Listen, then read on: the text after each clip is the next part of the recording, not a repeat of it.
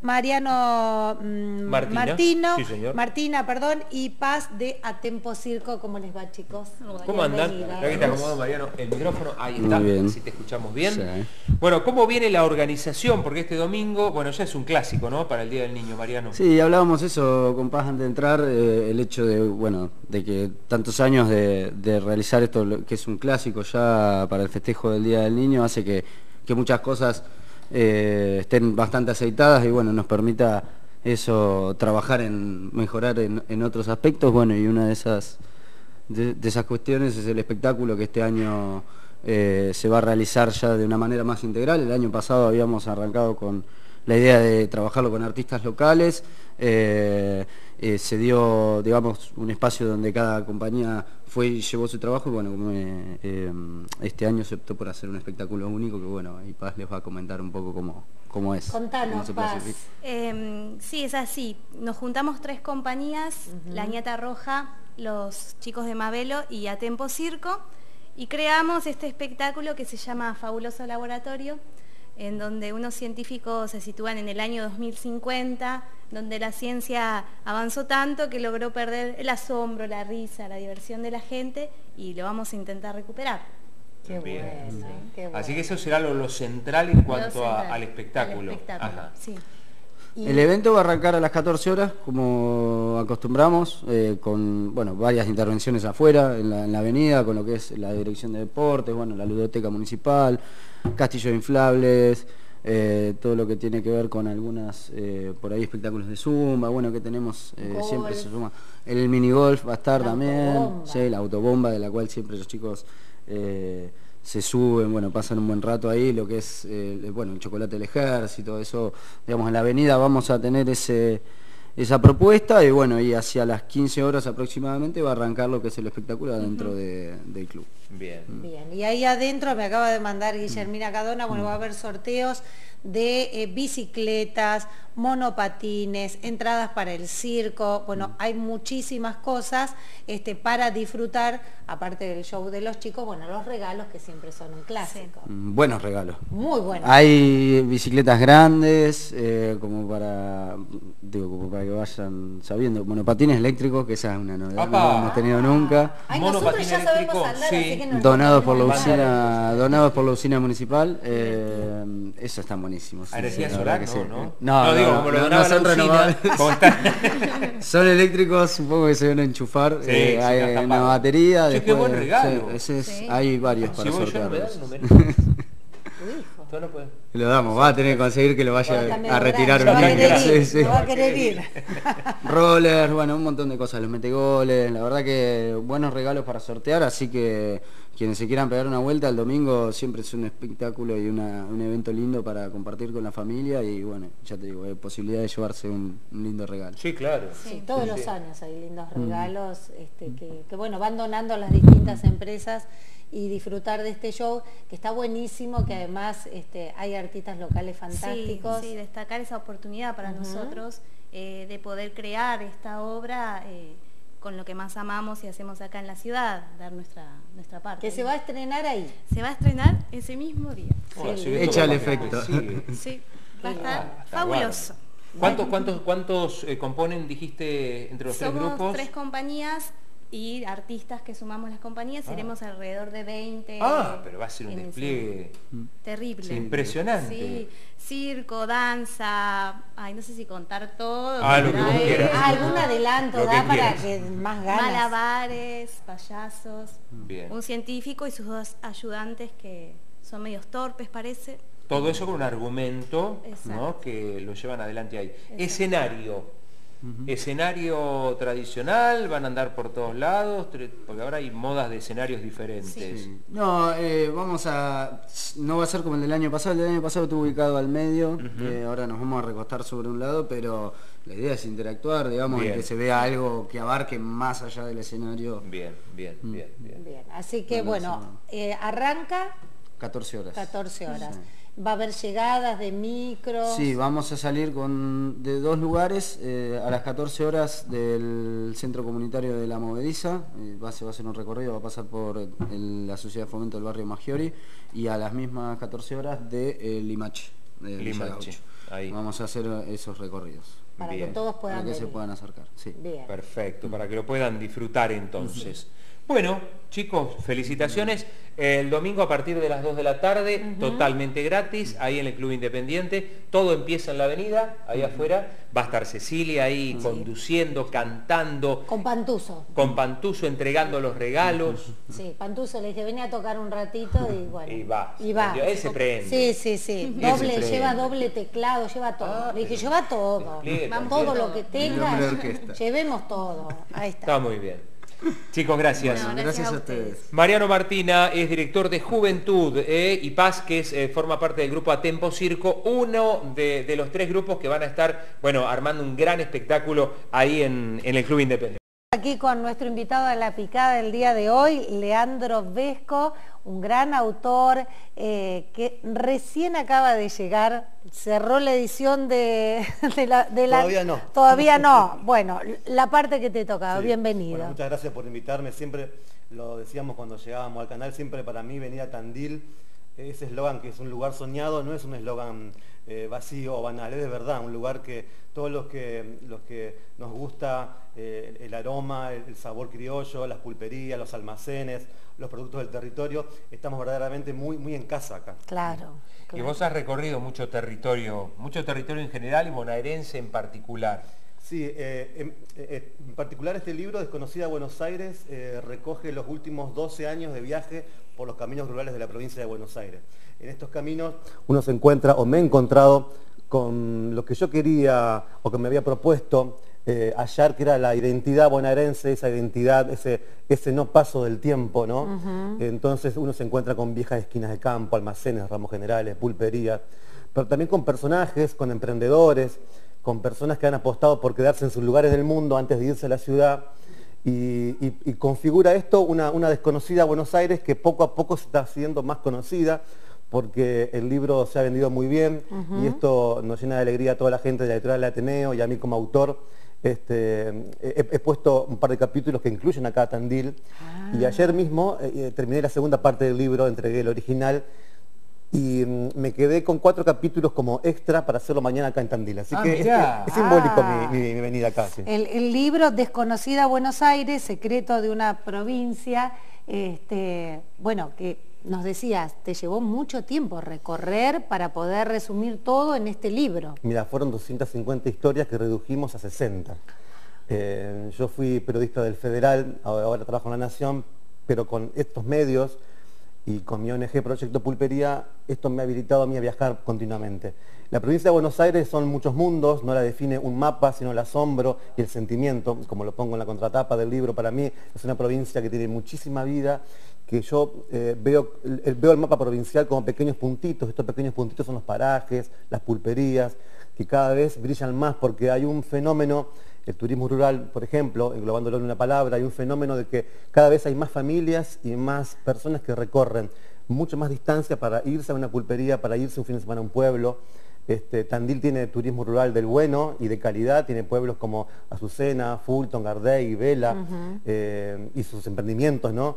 Este, en, el- en este libro, en el primer tomo de este libro, incluyo, bueno, Vela, el lugar que eligió Soriano para escribir, eh, el almacén Cuatro Esquinas, que es un almacén para mí de los más bellos que hay en la provincia de Buenos Aires, eh, el almacén Adela en, Fulton, que también tiene una historia muy, muy, muy interesante porque es, una- es un emprendimiento familiar, verdaderamente familiar, y también este, incluyo de la Canal, en el almacén Lazarte, que también es una joya Sí, sí. para todos los que nos gusta. Eh, yo te propongo lo siguiente, hagamos el brindis ahora, eh, hagamos Sí, el brindis y en el próximo bloque nos desgranás un poquito algunas de esas historias que te encontraste eh, en Azucena, en Cuatro Esquinas, eh, en, en el almacén Vulcano ahí en De la Canal, ¿te parece?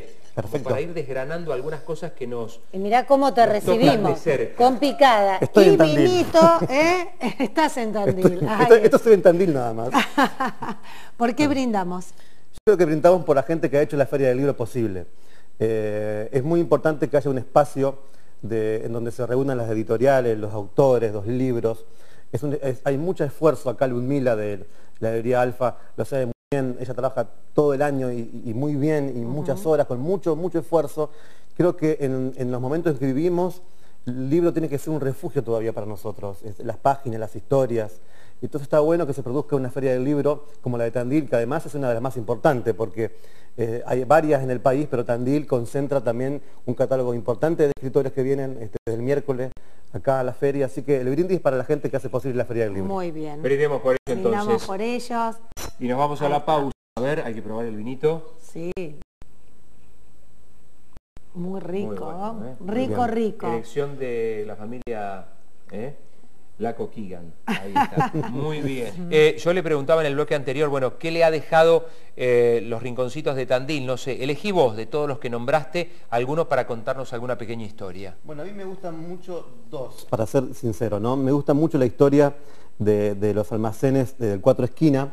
El Cuatro Esquina es, bueno, obviamente que lo conoce la gente de Tandil, eh, ahí, ahí confluye un tráfico incesante de, de via- de viajeros, de, de personas que van y vienen hacia Tandil eh, y que recorren esa ruta y que a mí me ha tocado estar, por ejemplo, hasta la misma Patagonia, en Río Negro, y cuando nombro el Cuatro Esquinas, nombran el crudo y queso, el ¿En serio? sándwich. ¿Me estás cargando? En- estuve en el tren patagónico hace poquito haciendo una nota y sabían que estaba el crudo de jamón y queso del cuatro esquinas. Entonces, esto, que parece un- algo anecdótico, es muy importante porque habla de que es un lugar de encuentro, no para la propia gente también del pueblo, pero para, para los viajeros, ¿no? Es un lugar de encuentro donde vos podés descansar y ese lugar de encuentro eh, capacita a, a la gente o habilita a, la- a los, a los, este, viajeros a probar productos del territorio propio de Tandil.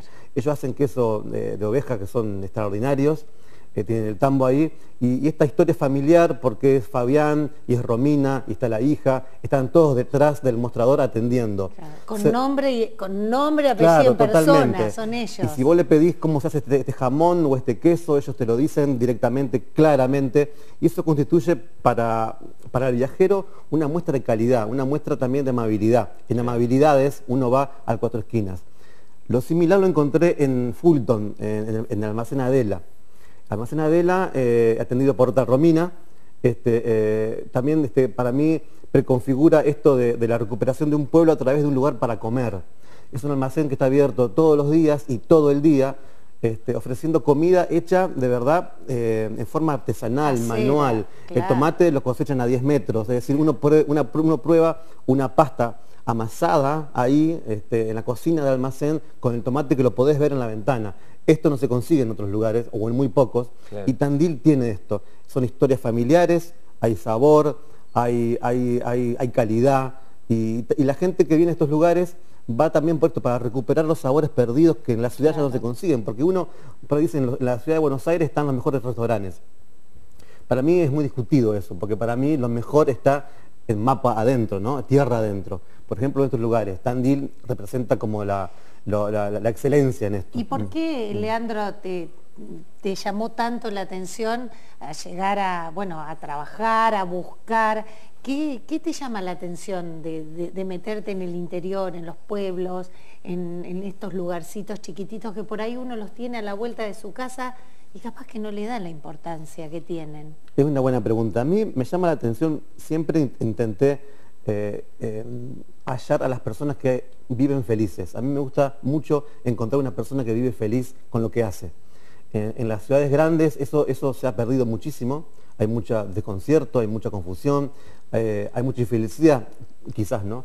Pero en los pequeños pueblos y en los parajes, en el mapa adentro de la provincia de Buenos Aires, uno encuentra esa felicidad, uno encuentra eh, el- el- el- el- la persona que tiene eh, la huerta, la persona que hace el Que queso. no tiene que ver con dinero, No, con no. grandes cosas. No, y eso, eso te lo expresa eh, el propio poblador, porque en realidad no les importa tanto el dinero. Creo que el dinero está ni siquiera en orden de importancia ni en el tercer lugar. Está el que vengas a visitarlos a ellos. En- siempre te dicen lo mismo. Nos gustan que nos vengan a visitar. Y para mí, al ver esas familias y esa gente, esos emprendedores, que los incluyo acá en el libro, eh, para mí son personas exitosas esas, que están en su lugar en el mundo y son felices y pueden hacer una familia y pueden trabajar lo que quieren. Que La vida en el campo es una vida dura, es una vida no para cualquiera. Este, cuando uno quiere el agua no viene, cuando uno la espera viene de, de a montones. Este, hace mucho frío en invierno, en verano hace mucho calor, es decir, es una vida dura. Pero no, así todo, la familia rural se expresa, y lo vuelvo a repetir, en amabilidad, es decir, en, en recibirte, en tranquera abierta, en servicio, claro. totalmente. Sí. Estamos hablando con Leandro Vesco, autor de Desconocida Buenos Aires, hablando de la provincia de Buenos Aires. Mencionaste el crudo y queso de cuatro esquinas. ¿Vos podrías hacerme un mapa de sándwich de jamón crudo de la provincia de Buenos Aires. En una Porque especie... él, él le gusta eso. en una espe- yo tengo el mío, yo Claro. tengo mi, mi- mi- mi mapa, mi ranking. Que cada vez que paso por ahí me Claro, acuerdo de Claudio. Pero vos, eh, digo, lo has podido hacer, te nombré este producto porque es icónico y en lo particular, Claro, sos fanático. exactamente. Me Sí. haces un, un, un top 3 voy a hacer. top 3, a Sí, ver, sí. a ver si Eso sí, viajan también con una damajuana de agua, porque después... Bueno, ponele. Haceme el top Eh, 3, mirá, a ver si El coincidimos. top 3, bueno, eh, de Buenos Aires hacia, hacia, hacia adentro, Roque Pérez tiene, eh, comenzamos en el kilómetro 135, paraje La Paz, almacén San Francisco. Eh, Crudo y Queso es almacén, un almacén que tiene 130 y pico de años, hecho en, en aquel momento por los propios vecinos con adobe, porque la gente necesitaba juntarse en un lugar y hicieron ese almacén. Ese almacén sigue en pie todavía. Qué bárbaro. Y- o sea, y- lo hicieron porque necesitaban lugar- juntarse, no es un particular que dijo, pongo el almacén No, acá. Hicieron Como los un gauchos, club, sí. y como esa- si fuera un club. es- es- claro, y, y una vez hecho, ahí empezaron a juntarse, ese almacén sigue en pie todavía, jamón crudo de ahí con queso es muy bueno, es muy bueno de verdad. Eh, siguiendo, vamos a Tandil, cuatro esquinas, ahí ya es una parada Ya fija. es nuestro. Y después eh, vamos a Curamalal, en Coronel Suárez. Ah, mira. Eh, un poquito más allá, en Coronel Suárez, esta pulpería fue recuperada por una artista plástica, Mercedes Rech, que hace las cosas muy bien y, y ofrece ahí un jamón crudo y un queso extraordinario. Así que son tres, pero te digo tres nada más porque si no va a haber un conflicto Sí, muy grande cuando vean por las redes sí, sociales sí, esto, sí, sí. pero con tres estamos bien ahí. Con tres Bien, estamos bien. bien. Eh, claro, porque hay, hay, viste que hay lugares icónicos de determinadas ¿Coincidís comidas. en-? No los conozco, dos de ellos no los No. conozco. Eh, tengo mis otros tres que, Claro, bueno, sí. cada uno obviamente. Otro día Además, de- cada uno tiene sus rutas dentro de la Totalmente, provincia de Claro. Buenos sí, Aires. sí, sí. Claro, él El- hace una parada técnica. El libro propone 60 rutas, es muy bueno lo que decís porque ahí son 60 eh, recorridos. ¿eh? Cada historia, eh, hay por ejemplo historias que eh, transcurren en, en las playas solitarias de la provincia de Buenos Aires al sur. La provincia de Buenos Aires tiene Patagonia, eso por ahí lo conocemos muy poco, pero desde del Río Colorado al sur ya es Patagonia. Patagonia. Entonces hay playitas como Positos, hay playitas como 7 de marzo, y este, como la chiquita, la chiquita tiene 4 habitantes nada más, y 32 kilómetros de playa. Para cuatro Cuatro. Ay. que son, fa- son familias, son... Y son gente que cuida las casas de los veraneantes en el verano, Ah. que en el verano hay 50, 60 nada más. Pero ahí el mar argentino es tuyo, ¿no? Eh, Te sentís dueño de ese mar, tiene una suave pendiente, podés caminar 300 metros por la playa y el, y el agua te da la cintura. Positos tiene 30 y pico de habitantes y viven de las ostras, en la capital provincial de las ostras. Antes de darte una picada de crudo y longaniza y, y queso, ellos te dan ostras con un limón. Imagínate la provincia de Buenos Aires, la complejidad que tiene gastronómica y también de perfiles de personas, porque esa gente vive de las ostras en el mar. Este, o la 7 de marzo, que tienen 15 habitantes, que es la primera playa de la Patagonia, si uno viene de la Patagonia, o la última, si venimos desde, desde acá, desde el norte. Esa playa, 7 de marzo, confluye en el estuario del Río Negro, y, y es un pueblo que se está haciéndose. Entonces el libro plantea esos recorridos, plantea pulperías, comedores rurales, personajes, como por ejemplo Pedro Meyer, que es el último habitante de Quinigual. Eh, el pueblo tuvo 500 habitantes y quedó Pedro nada más. Es un, es un pueblo de un habitante nada Pedro más. es el, eh, se fue la señora, Sí. estamos Claro, hablando de ese pueblo, se fue la se señora eh, y él decidió igual quedarse. Eh, esa historia para mí es, Y un es- almacén es un también. arquetipo, sí. La- salió una nota en el diario La Nación que la, la publicamos hace poquito.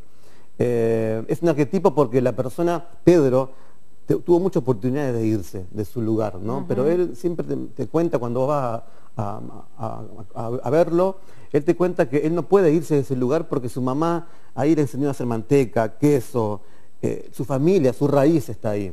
Hay un grupo italiano sojero muy importante que rodea ese pueblito que todos los años le hacen una oferta importante en euros, jugosa la oferta. Y, y Pedro dice que no. No. todos los años dice que no.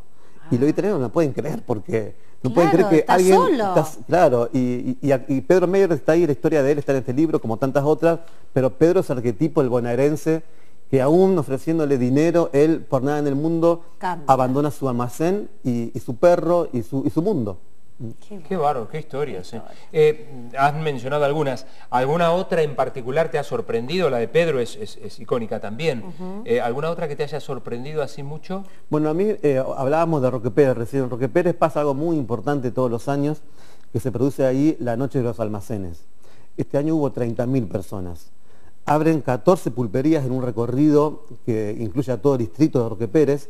El distrito de Roque Pérez tiene en particular algo muy especial porque desde el municipio han eh, incentivado a que estas pulperías reabran o abran permanentemente.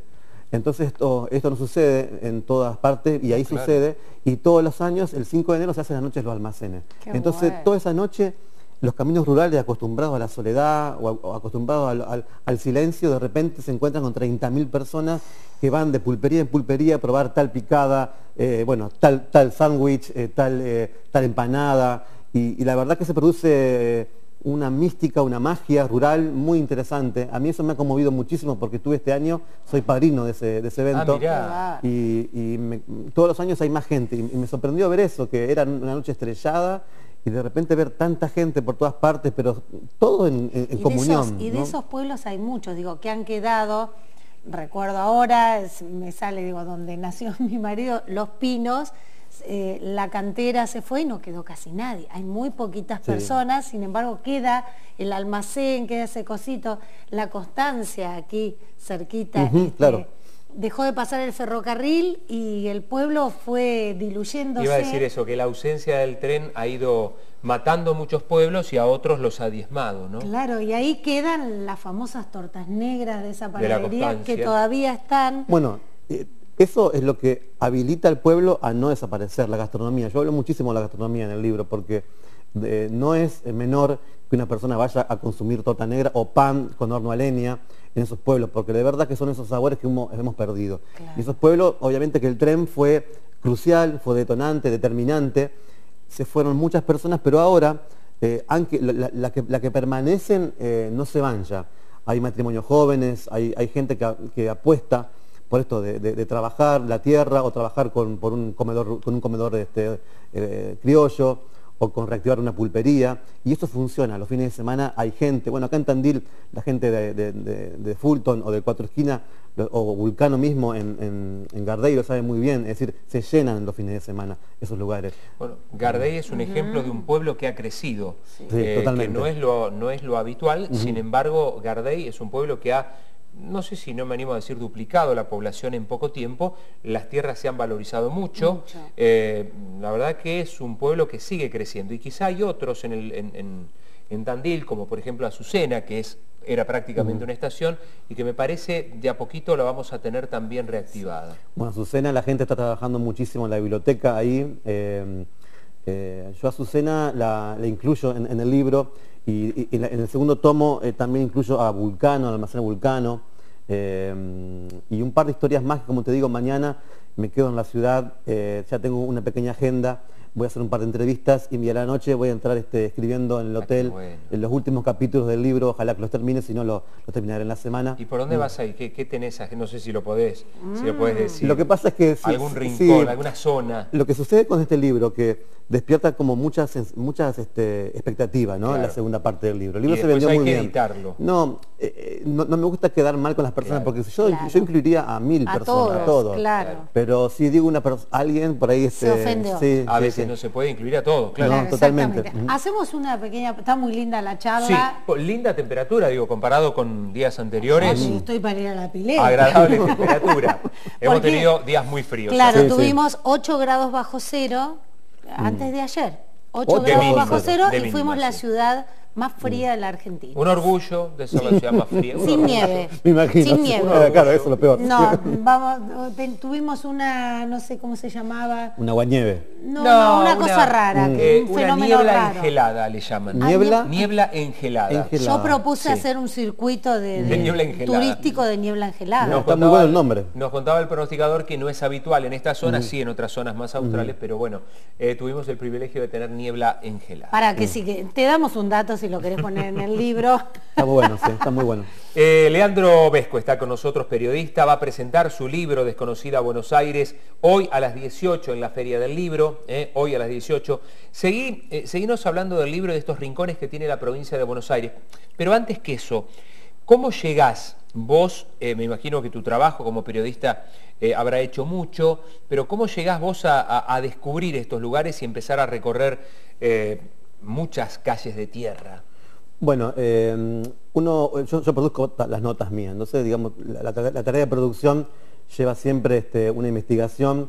Allá, cuando comencé en la Rita Federal hace ya 12, 13 años, eh, era responsable de la sección Mi Pueblo, entonces ya tenía en mente un, recorrido. Pero yo siempre lo digo en, en las charlas o en las presentaciones, cuando tenía pensado ir a un pueblo, en general después le ganaba el desvío, porque yo iba a un pueblo y en el interín alguien me decía, che, pero la pulpería de acá es mejor que aquella, anda a conocer que hay otra pulpería. Entonces el libro se hizo mucho por los desvíos, ¿no?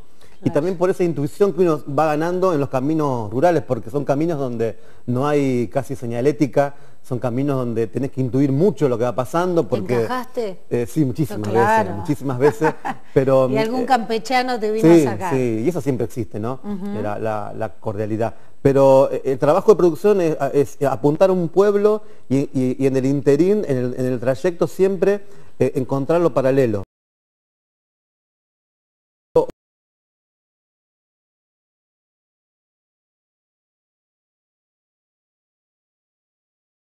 Alrededor